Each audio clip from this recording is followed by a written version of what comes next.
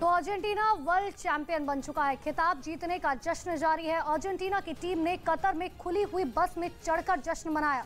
Argentina की पूरी team hotel तक हज़ारों प्रशंसकों के साथ जश्न मनाते हुए पहुँची। उनके साथ हज़ारों फ़ैन अर्जेंटीना टीम के साथ झूमते गाते नज़र आए। मेसी का सपना पूरा होने पर उनके चाहने वाले भी काफ़ी खुश दिखाई दिए।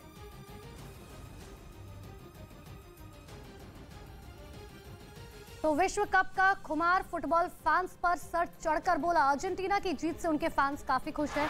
दुनिया भर के फैंस अर्जेंटीना की जीत का जश्न मना रहे हैं।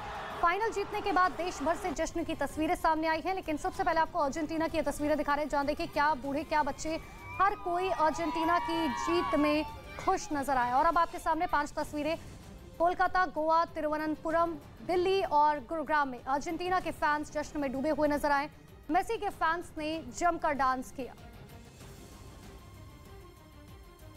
और अब आपको विश्व कप 2022 का वो आखिरी मुकाबला दिखाते हैं, जिसमें रोमांच अपने पूरे चरम पर था, जिसे फैंस दशकों तक नहीं भूल पाएँगे। अर्जेंटीना और फ्रांस के फाइनल मैच की पूरी हाइलाइट्स मेसी का सपना, उनके देश का दीवारिया बना मार्टिनेज की ठोकी है बॉटम कोनों में।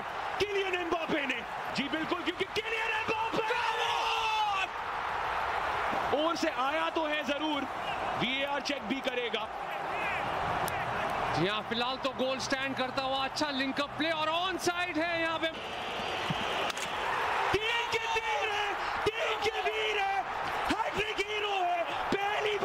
है सेम साइड जाएँगे कि डिफरेंट साइड सेम साइड गए और गोल भी दाग दिया। चौथी बार मेसी हुए सफल। के साथ नजाकत के साथ कोमान सेव मार्टिनेज का advantage Argentina advantage Emi Martinez advantage Lionel Messi Dybala बीचों बीच बीच का चुमेनी मिस कर देते हैं और क्या फ्रांस अब यू- लॉरिस के खिलाफ पैराडाइज को मिला पैराडाइज निकोलो मुआने फ्रांस अभी अर्जेंटीना का सपना हकीकत है मेसी का सपना हकीकत है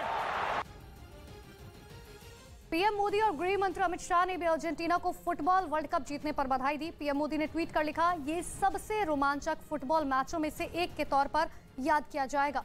अर्जेंटीना को विश्व चैंपियन बनने के लिए बधाई। पूरे टूर्नामेंट में अर्जेंटीना ने शानदार प्रदर्शन किया। मेसी और अर्जेंटीना के लाखों भारतीय फैंस इस जीत से खुश हैं।